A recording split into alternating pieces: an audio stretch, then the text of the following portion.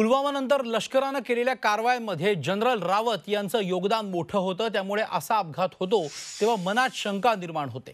या शंकांचं निरसन पंतप्रधान आणि संरक्षण मंत्र्यांनी करावं असं संजय राऊत यांनी म्हटलं आहे. तर काही बाबतीत राजकारण दूर ठेवलं पाहिजे.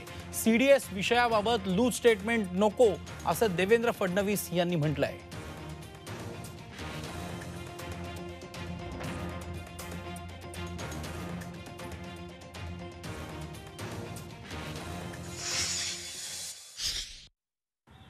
पुलवामा नंतर सुद्धा पाकिस्तानी अतिरेक्यांविरुद्ध ज्या कारवाया झाल्या जर मजूद असतील किंवा जैश ए मोहम्मद असतील लष्कराने केलेल्या कारवायामध्ये जनरल रावत ह्यांचं महत्त्वाचं योगदान होतं.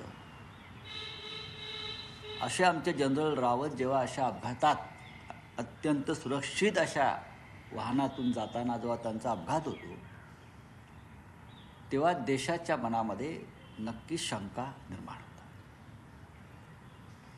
चौकशी होईलच. सरकार नक्कीच त्या संदर्भात चौकशी करेल. पण देशाच्या मनातल्या शंकांचं निरसन करण्याची जबाबदारी ही देशाच्या प्रधानमंत्र्यांची आहे आणि देशाच्या संरक्षण मंत्र्यांची आहे. काही बाबतीत राजकारणापेक्षा दूर आपण राहिलं पाहिजे.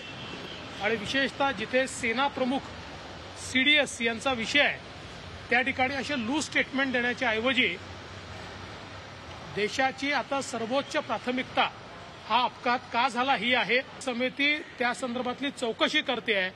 त्यामुळे ती चौकशी होतपर्यंत याबद्दल बोलणं हे अतिशय अनुचित अशा प्रकारचं आहे. मराठ्यांची तळपती तलवार. म्हणजे?